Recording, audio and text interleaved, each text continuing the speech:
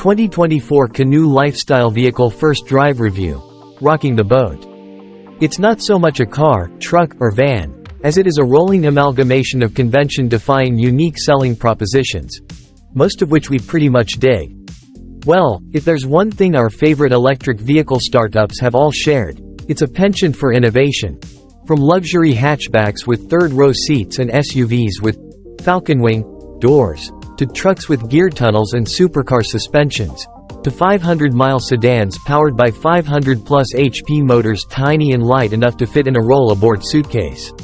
Now we're adding to that roster the 2024 Canoo Lifestyle Vehicle, a 21-window retrotastic van with mosh pit seating, swappable, top hat, bodies, and a truly fresh take on vehicle lifecycle planning. S Canoo viable? It's a question worth asking about any EV startup that hasn't yet produced cars yet, and things indeed looked a little shaky last year for the California-based firm. But like Rivian, Canoo is lining up fleet customers to keep the lights on, e.g. Walmart has ordered 4,500 LDVs, or lifestyle delivery vehicles. Unlike Rivian, Canoo will only be selling to fleet customers for the first year of production. Those customers will also hopefully soon include the US military, for Canoo's light tactical vehicle that we also reviewed. These fleets will expose the vehicle to harder use than retail families would, and so will swiftly and efficiently uncover any remaining development issues prior to the retail launch of the passenger-carrying lifestyle vehicle. The VW Microbus-esque lifestyle vehicle was the first Canoo to break cover, and a simpler delivery van version of that body is the first to launch. The first 120 Gamma prototypes of various models have been built in Livonia, Michigan, at Roush Industries. We drove one of these not quite final final models. Roush has provided worker training and assembly services, but the tooling and manufacturing process all belong to Canoo, and the employees overseeing them have either been flown in from Oklahoma or hired locally by Canoo with plans to relocate to Oklahoma when official production migrates there in the first quarter of 2023. The first official customer vehicles began rolling off this temporary line on November 17, bound for Walmart, NASA, and other fleet buyers.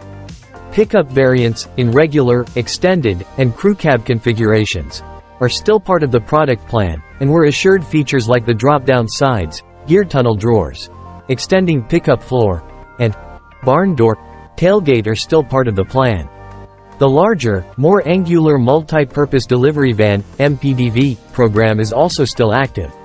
And current production plans call for initially producing more skateboards than top hats, suggesting the company sees a market for this low-profile, fully-by-wire platform.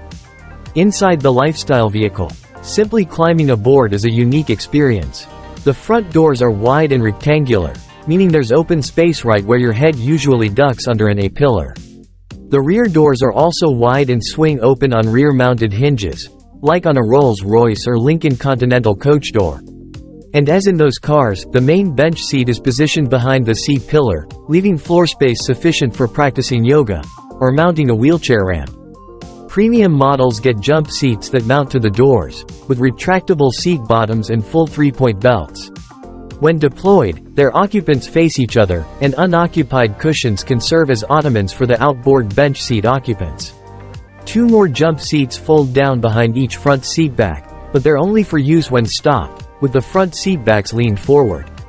The rear door windows don't go down, but the rear quarter windows do. And there will be an option to have the little vista windows around the roof perimeter pop open.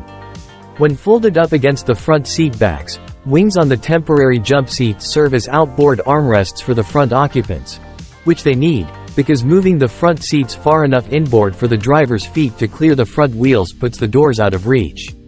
The pedal environment is perfect, but while there's a single center armrest between the seats, there's no room for a center console, and two burly linebackers might rub shoulders.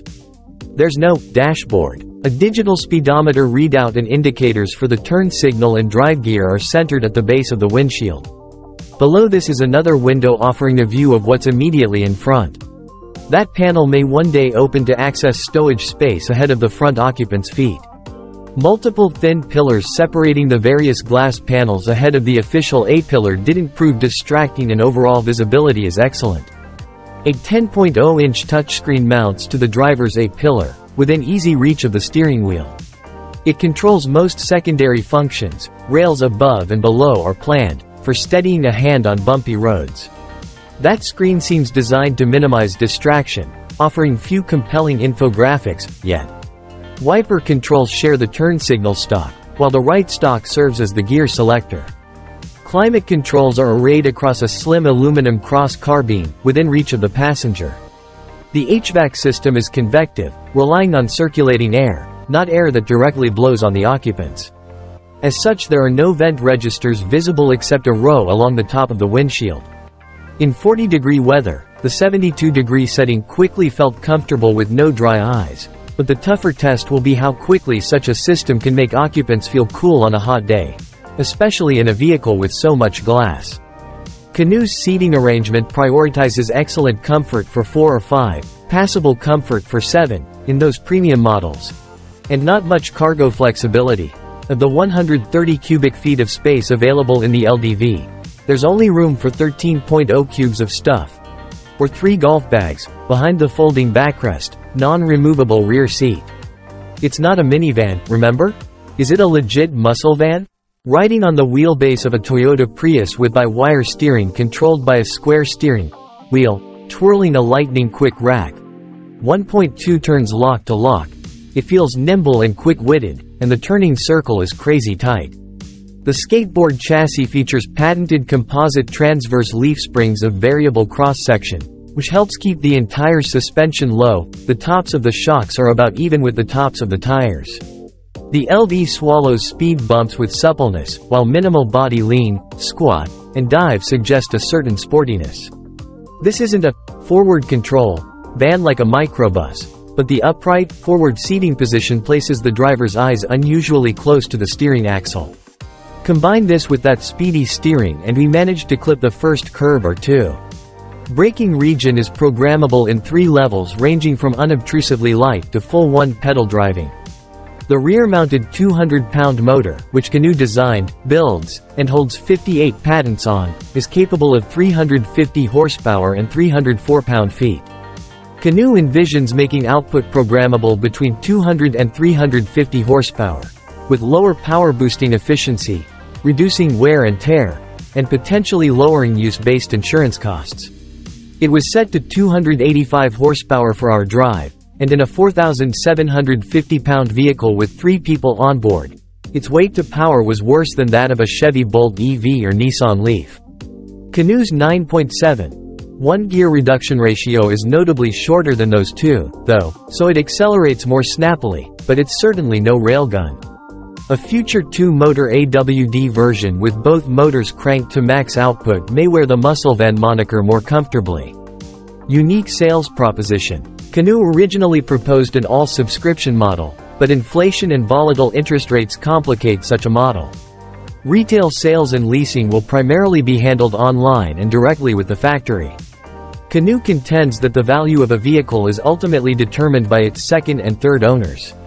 Toward that end, the company's skateboard design prioritizes longevity and quick, easy repairability with lifelong upgradability. A powertrain swap takes two hours, and the entire body top hat shouldn't take much longer. In this way, the Canoo recalls a different vintage VW. The Beetle. Many of which enjoyed second lives as sandrails and dune buggies. Bottom line. We've loved the Canoo lifestyle vehicle's exterior design from the moment we saw it, especially the pickup. We're intrigued with the interior layout and we look forward to spending more time in it to answer questions like, is Supreme footstool comfort for two rear occupants some of the time worth making occupants 6 and 7 miserable sitting sideways? Is loading bulky stuff in through the back doors as easy, easier than loading it in the hatch? Is there enough luggage room for reasonable trips with four or more occupants?